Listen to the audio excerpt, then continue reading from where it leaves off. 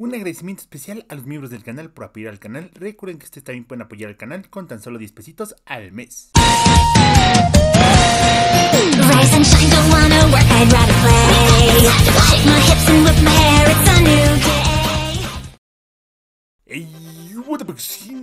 ¿Cómo están? Sean bienvenidos a otro top de Dragon Ball Xenoverse 2. El día de hoy, aprovechando que hace poco me tocó hacer un captura de MZ sobre Lead con menos daño, ya que en su búsqueda me encontré con un montón de habilidades bastante curiosas y raras, las cuales veremos a continuación. Aclaro que no todas son malas, por ejemplo la del fondo que es el disparo cático es bastante buena, pero sin más rodeos, vamos con el video.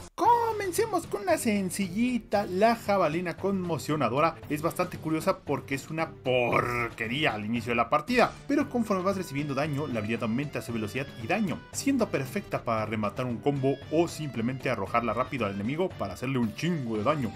Lo que sea de cada quien, cuando estás a nada de vida, la misma hace muchísimo, muchísimo daño. La siguiente es la ráfaga de energía consecutiva, por el simple hecho de ser un refrito, no sé cuál fue primero, pero tanto esta como la habilidad de retirada de dispersión de disparo de quién sabe qué hacen lo mismo, su daño también es similar, la única diferencia es que la ráfaga de energía sí se puede cambiar, pero literalmente tanto en animación como en tiempo y utilidad son lo mismo, y no son las únicas habilidades con este tipo de similitudes que veremos en el video. La bengala amenazadora es de las habilidades normales más útiles y que casi no he visto a nadie ocupando. La misma por sí misma no hace mucho daño, pero si fallas el ataque serás teleportado justo detrás del enemigo, rematando con una patada que hará un daño más que decente. E igual si la aciertas, pues el ataque no era teleport, pero tu daño igual está ahí, está decente. Aquí tenemos una de esas habilidades que creo son mejor en partidas cooperativas, ya que el último recurso de la escuela tortuga sirve para paralizar al enemigo por un par de segundos, pero necesita cargarse sí o sí, y no es como que se cargue rápido, por lo que en partidas PvP o misiones secundarias jugando en solitario, yo nunca lo usaría. Aún así, su animación es única y creo que le queda como anillo al dedo al video.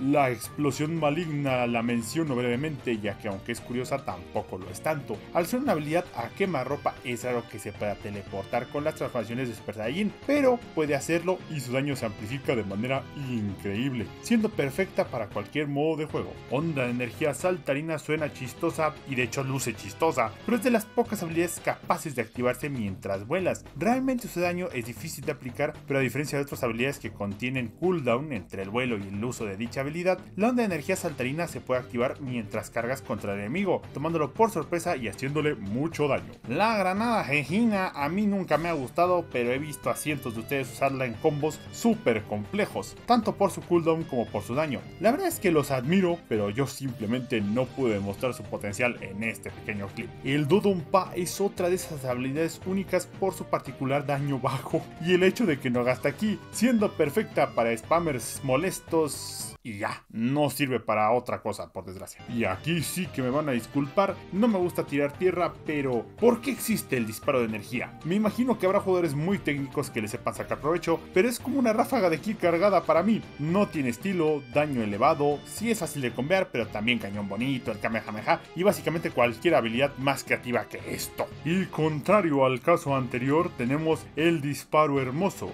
una habilidad de Sarbón que en su momento era súper inútil, pero que ahora es excelente tanto visualmente como para combos. Lo que hace es subirte rápidamente hacia el cielo para luego disparar una ráfaga de ki que crea una super explosión. La razón por la cual era tan, bueno, era tan inútil antes era porque sin importar tu combo siempre te elevaba en el mismo sitio y hacía su ataque. Ahora no te eleva y en vez de eso persigue al enemigo luego de un combo, sin perder su estética y haciendo el mismo daño. Ahora tenemos ese par de habilidades que son exactamente lo mismo. O no, de hecho la versión base es mejor, ya que la onda de explosión poderosa es de DLC y realmente es una versión inferior de la explosión de ki del juego base. Hace menos daño que la del juego base, tiene menor área que la del juego base y sí, solo consume una barra de ki, pero ¿de qué sirve si es peor? Esta fue de mis favoritas en descubrir ya que el impulso Kamehameha es de esas habilidades engañosas. Literalmente lanzas el Kamehameha en la dirección contraria para darle un cabezazo al enemigo con el impulso del mismo. Hasta ahora no sería nada curiosa de no ser porque su Kamehameha no es solamente estético. Si por alguna razón el enemigo se pone detrás de ti, el Kamehameha igual le hará daño, sin un ataque que sin importar la posición pondrá en jaque al enemigo.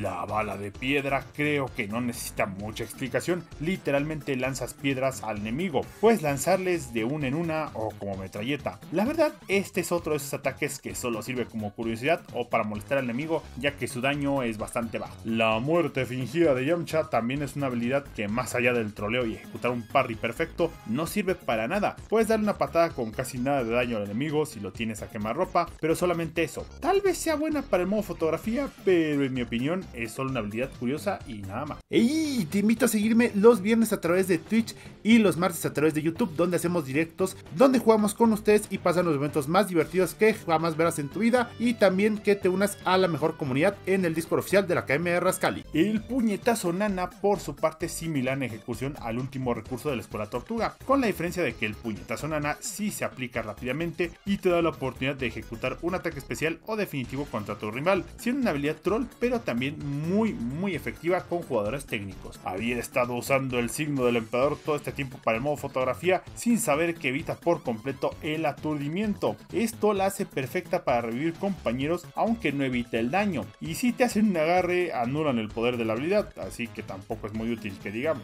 Ya para terminar tenemos la habilidad de regalo para ti que sirve para darle vida o pegarle un puñetazo al enemigo. Pero no sabes lo que te dará ya que es sorpresa el regalo. Por si eso no fuera suficiente curioso, puedes spamear el regalo infinitamente dejando docenas de regalos en pleno vuelo. Espero que este video haya sido de su agrado, que les haya divertido, chance alguna habilidad les haya gustado. Este sábado nos vemos con el regreso de Fachallin Z. Sin más, feliz día de Goku. Yo soy Rascali y nos vemos a la próxima.